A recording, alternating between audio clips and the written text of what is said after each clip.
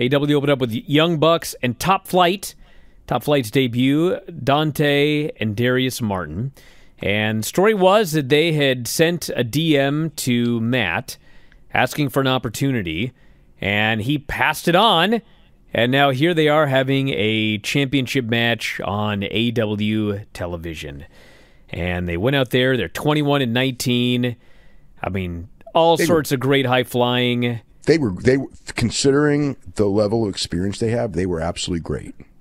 Had this great match. Bucks sold all sorts of stuff for them. Bunch of flips and dives and double team sliced bread and Dante the very end got a super close near fall with a crucifix, but Matt kicked out. They hit the BTE trigger and they got the pin. And afterwards, Jack Evans and Angelico hit the ring. They attacked Top Flight. So apparently, Top Flight's going to be around for the time being. I was surprised to not see that they were all elite by this afternoon, but maybe tomorrow. Well, they, they, they have a deal. Oh, they're signed now?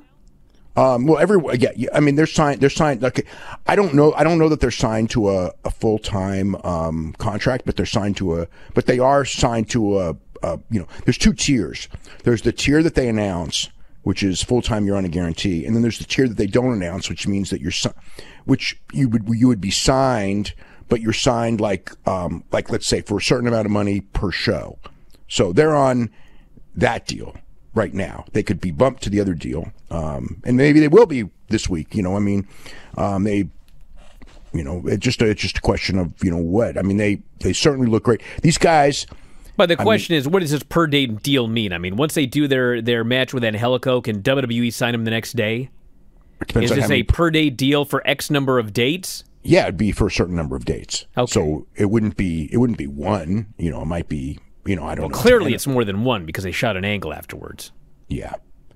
Well, I, I thought the angle was just to get um, Evans and Angelico um, in in you know in into something into a mix maybe for a match with the Young Bucks, not necessarily for against um, Top Flight. Although it could be, it could be Top Flight. But I thought Top Flight for their age, um, they if, they they're you know they're like Private Party. They just need they're they're they're for their level of experience they're really good. They just need more experience. They need they need to be doing matches over and over with good people. And these kind of matches, if they can work with guys like this on a regular basis, um, you know, three years from now, these guys are going to be great.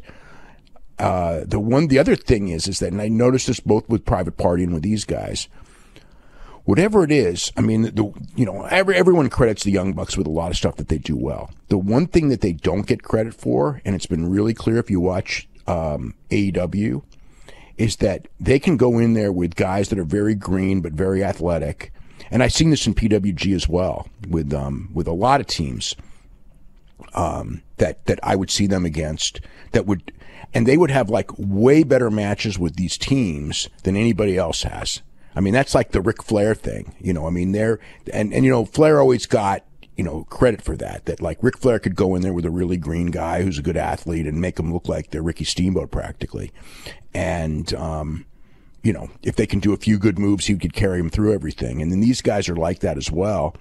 And this was like the perfect example because what I had heard about these guys, and I'd seen them on Dark, and you know, they did some cool athletic stuff on Dark, but they never looked like this. You know, it's it's just a and, and that's that's who you're wrestling, and that's the caliber of guys those two guys are. Is the ability to carry guys like that, and the same with Private Party. And like, um, you know, Private Party didn't have the caliber of matches that they had with the Young Bucks. They did have some good ones with other people, but I think that their matches with the Young Bucks have been better than their matches with anybody else. So, um, yeah, real credit to the Young Bucks. Um, and um, but I boy, these guys are these guys could be something. Um, they really can. I mean, a brother a brother team that's that athletic. Those the which which is the the um, Darius is that the no no no no Don, Don is Don, Dante's the one that jumps like crazy. Dante's the younger one. Yeah, I think Dante was a freaking guy. I mean, it's not quite Montez Ford. I think Montez Ford's like the greatest jumper I've ever seen ever in pro wrestling. But this guy, I mean, he was like the next best thing. And when, you know, you get a guy who can, who, you know, clearly you don't get as good as they are, as young as they are, without really wanting it bad. That's a given.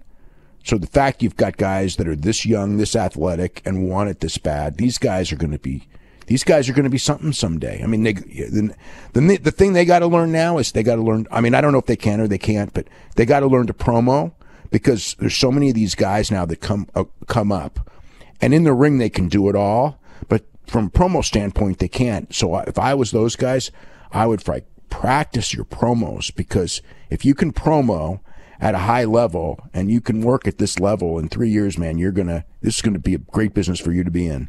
Hey, if you're a big fan of Wrestling Observer Radio, we got 12,000 episodes of all of our podcasts up at our website, WrestlingObserver.com.